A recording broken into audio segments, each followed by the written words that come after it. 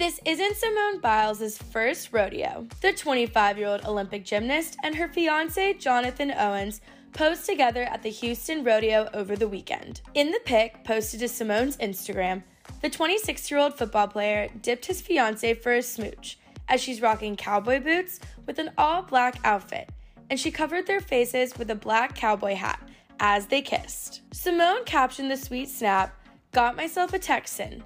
Kind of. Adding a smiley face cowboy emoji. The couple announced their engagement this past February and they've been in a relationship since August 2020. On Tuesday, Simone spoke more about their upcoming wedding in a fan asked me anything on her Instagram story. First, she answered how she knew Jonathan was the one in a sweet video explaining the story. Okay, so this is kind of crazy, but the day after I met him, my friends and stuff were asking me, like, hey, how did it go? And I literally told Rachel, I was like, I'm gonna marry him. I don't know. You just know, I guess. She then took the reins on sharing wedding planning details, including finding a venue, saying, We are still on the hunt for the perfect wedding venue. It will be a destination wedding. We'll be visiting soon, so fingers crossed we fall in love with one. Simone also let her followers know the one detail she's most excited about, writing, Ask any of my friends, they'll all say flowers. I'm obsessed. They're so expensive, but I'm willing to pay to make my vision come to life.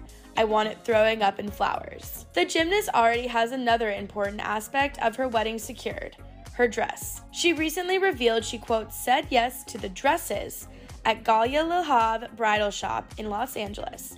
And she hinted that she got two dresses for her big day. Back in September 2021, Simone spoke to Access Hollywood about getting the stamp of approval from her friends and family on Jonathan and what dating during the pandemic was like. I when she first brought him to the house, um, I was just like, yeah, he's he's a good one. Only because you knew immediately. I knew immediately only because, like our friendship, like I just knew who what she had gone through prior to him, and I was just like, no, he's a good one. I didn't even have to do anything. He was like the nicest dude I've ever met. Like I was just like, bro, like he was a really cool one. And then I found out he was a football player, so I was like, oh, there we go. It's even better. Like, look at that. Right, right, but right. no, I, yeah, I told her right, like.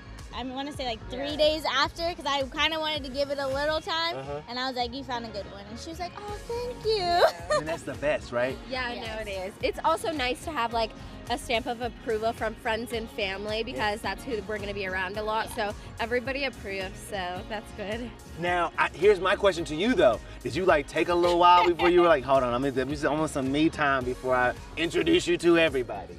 Um, a little bit, but it was during the pandemic, so we kind of had that time to ourselves, see if we like each other, and then like since we are with each other days on end, it kind of worked. So we did take a little bit of time. But wait, so y'all started dating in the pandemic? Yeah.